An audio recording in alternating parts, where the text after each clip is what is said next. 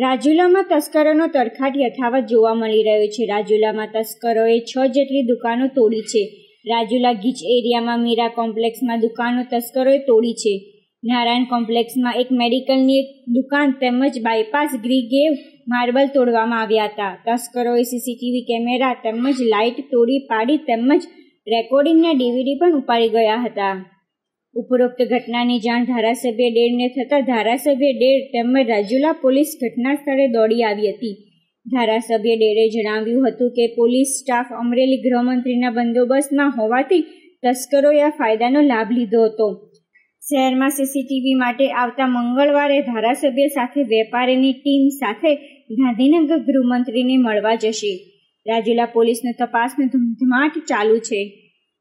રાજુલા શહેરનો ખૂબ જ ભીડભાડવાળો વિસ્તાર એટલે અખાડા વિસ્તાર. આ વિસ્તારની અંદર મીરા કોમ્પ્લેક્સ નામનું એક કોમ્પ્લેક્સ આવેલું છે. આ કોમ્પ્લેક્સની અંદર ગઈકાલે મોડી રાત્રે અંદાજે ચાર જેટલી દુકાનો તોડવામાં આવી છે. આગળની જો વાત કરીએ તો હોટલ કોહિનૂર પાસે પણ એક બે દુકાનો મેડિકલ સ્ટોર સ્ટોર દ્વારા તોડવામાં આવ્યા છે. હિંડોળાના પણ સમાચાર છે.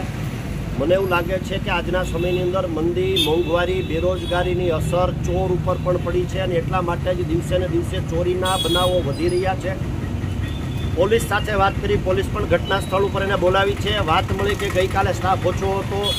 ગઈકાલે પોલીસનો સ્ટાફ એટલા માટે ઓછો હતો કે આ દેશના ગૃહમંત્રી આદરણીય અમિતભાઈ શાહ અમરેલીના પ્રવાસે છે. ત્યારે મોટાભાગનો પોલીસ સ્ટાફ જે રાત્રે ચોકી જે કરતો હોય છે ને અમરેલી ત્યાં તૈનાત કરવામાં આવ્યો છે એટલે કાલ પોલીસનો સ્ટાફ ઓછો હતો. પણ સમજવા જેવી વાત એ છે કે આજના સમયમાં ચોર પણ કેટલા હાઈટેક બન્યા છે. સીસીટીવી કેમેરા હતા, એને તોડી નાખ્યા છે. સ્ટ્રીટ લાઇટ હતી, સ્ટ્રીટ લાઇટ પણ તોડી છે. કોમ્પ્લેક્સની અંદર લાઇટ હતી, એ લાઇટને પણ તોડી છે. અને એના કરતાં પણ હાઈટેક વાત કરીએ તો જે જગ્યાએ સીસીટીવી કેમેરા હતા, એને ડીવીઆર પણ તોડીને સાથે વયા ગયા છે. એનો મતલબ એ છે કે ચોરને પણ ખબર છે કે સીસીટીવી કેમેરામાં આવી જશું. આ બધું જ સ્ટોર કોમ્પ્યુટરના ડીવીઆરમાં થતું હોય છે. મને એક વાત નથી સમજાતી કે આટલી બધી આ સરકારની આવડત હોવા છતાં અથવા તો સરકારનો રોલ પેલો હોવા છતાં પણ અથવા તો સરકાર કડક હોવા છતાં પણ આવું કેમ થાય એના ઉપરથી એવું કહી શકાય કે સરકારનો કોઈ પેલું રહ્યું નથી. ચોરો ઉપર અને એથી મહત્વની જો વાત કરીએ તો આવનારા સમયની અંદર સીસીટીવી કેમેરા રાજુલા શહેરની અંદર વર્ષોથી પાસ થયેલા છે.